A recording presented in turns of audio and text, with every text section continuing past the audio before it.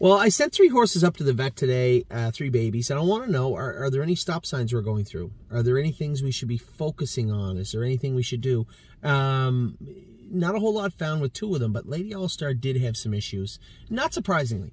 This is a filly that we know is very fast, a filly that had to work very hard to get her gaited, had to work very hard to keep her flat. If you've been to the training center, um, you know how much work I have to put into Lady All Star to get her proper before. And I'm not so much worried about the work, but I'm worried about why. Why so much work and um, what's underneath?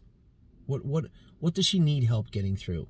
And I mean, when you're training them down, it's hard to tell. Um, the other day I trained her. The only thing I thought the other day when I trained her, she cantered a little bit more than usual going her slow mile, which is telling. But when she get into the fast mile, she made a break because she got doubled up, but then went a big, big last half. And as I said to the vet today, um, you guys know how I've talked about this filly the last little while. Definitely intelligence-wise, I, I think understanding her job and seeing how much she's progressed, I would say there has been no one, none of our babies has come as far as her intelligence-wise. None. Top of the class absolutely top of the class. So I am super pumped about that. But is there something festering? And you guys, you have to understand uh, what I'm about to tell you is she had two lines, one in her knee and one in her hind sesamoid. Both of them three to four weeks in stall and in the pool. Same as we do for all the horses. These aren't major, but they could have been major. And I'm going to tell you my take on why that's important. My take on why working the horses hard now at smaller speeds, where you might find a line, is important. My take on that is simple. For the people out there that baby them and baby them and baby them and baby them, that doesn't mean that those lines aren't there. It Doesn't mean that they're not prevalent. It doesn't mean that they're not going to show up. But at higher speeds with more torque, that little line that I might have seen today could be a slab fracture in a mile and 58. Could be a broken sesamoid that needs a screw at 57, 59. What I saw today with the veterinarian, or what I was told the veterinarian saw today, was something that needs four weeks in the stall, a line. She wasn't lame on it. This is a filly that trained decent the other day. Jogged sound yesterday. And what I saw is something she just three, four weeks in the stall, let it seal up, put her in the pool for a month.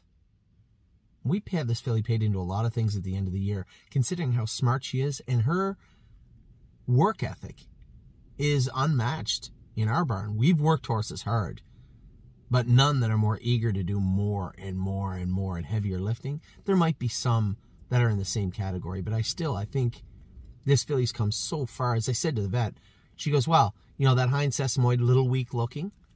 Her knees are suspect. Has she done much? has she done much more than the other horses. She's worked harder and likes her work. In fact, trained great this week. She goes, well, that says it all. You know, horses that want to get there will get there. And as far as these lines, she walked in the in the clinic sound and she walked out of the clinic sound, but they're there. And if we had not checked, she would not have walked into any clinic sound in a few weeks, and would not have walked out of any clinic sound. So by putting the proper work into the horses, but paying attention. When something doesn't look right, more times than not, it's not. I have no problems with the issues with Lady All Star. None. Like the filly very much. But she is going to need three or four weeks off and then go to the pool. We did this last year with a number of horses. This isn't the first time. We rested Three Point Blue Chip last year also. For various reasons. Never his feet, but various reasons. So uh, that's a scoop on uh, Lady All Star. Uh, we also had Una Madonna up. Nothing found there. She said, really nothing. If you're going to make me be picky, maybe her pasterns are a little rough look, rough looking behind. She said, but that's nothing. Nothing there. And then as far as uh, Coupe de Ville, right foot had a bruise in it. And she was a little tender on her right foot. She does hang on that line. So rather than tinker and tinker and tinker, we simply shocked her foot.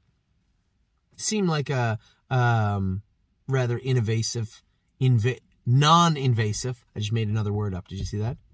Invasive. Doesn't even sound right.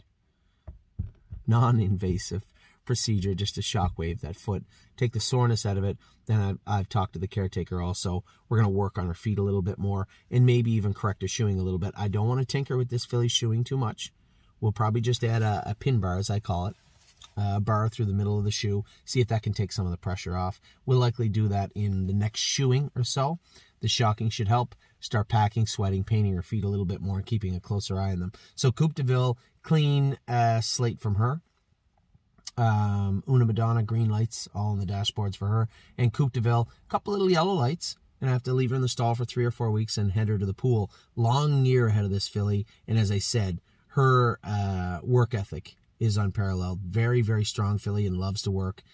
Let's just make sure her wheels are on straight or she could hurt herself. So I would say, although today's news wasn't fantastic, definitely averted what could have been problematic down the road. So um, I guess I can spin it as good news all around. Obviously, it means that Lady All Star is going to have to back off a little bit. Three, as I said, three, four weeks install and then off to the pool. The other two fillies full speed ahead. So that's your report on the babies today for Una Madonna, Coupe de Ville, and our girl, Lady All Star. Take care.